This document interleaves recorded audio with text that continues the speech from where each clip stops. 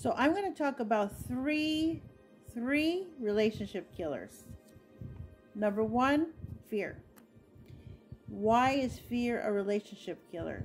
Because the Bible says that love casts out fear, but fear casts out love. You can't have fear and love in the same room, so to speak. Fear causes people to get into controlling behavior. So you may feel like you're nurturing someone, but if it's done out of fear, you're going to end up controlling, manipulating, and and be, be getting into place of suspicion, uh, accusation. Um, your mind's just going to go crazy trying to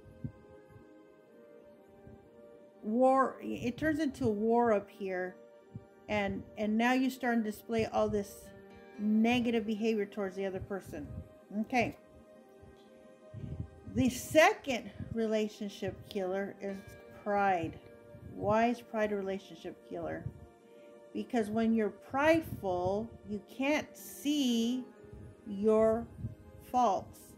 So now it's you start blame shifting you start um, not taking responsibility for what you're doing.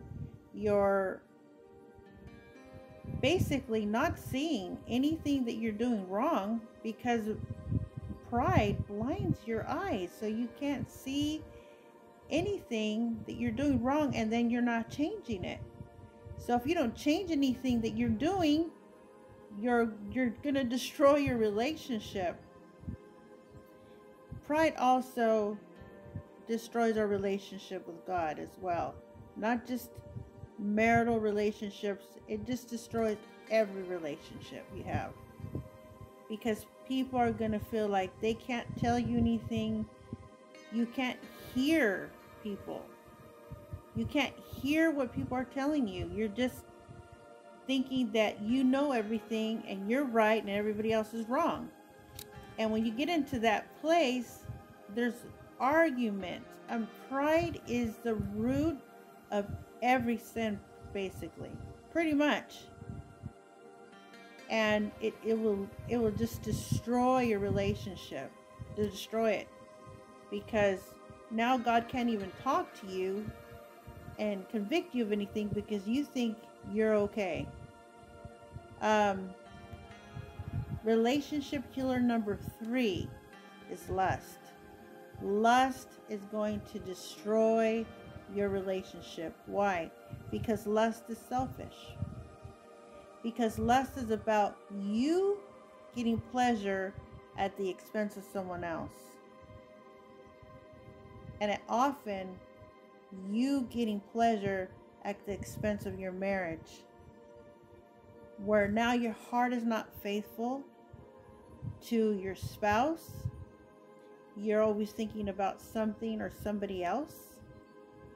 Um, lust is a relationship killer. You, if you have any of these three things in your relationship, fear, pride, or lust, you need to first of all humble yourself because humility destroys the power of sin in our life.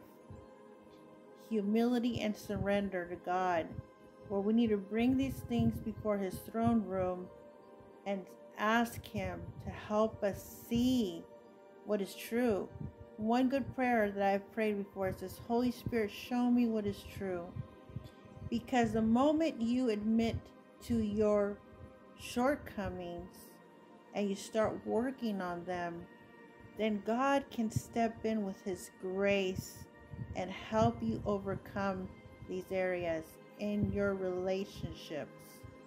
But it starts with humility. Without humility, without admitting we're wrong, God cannot work in our life. So, that, my friends, is my relationship advice.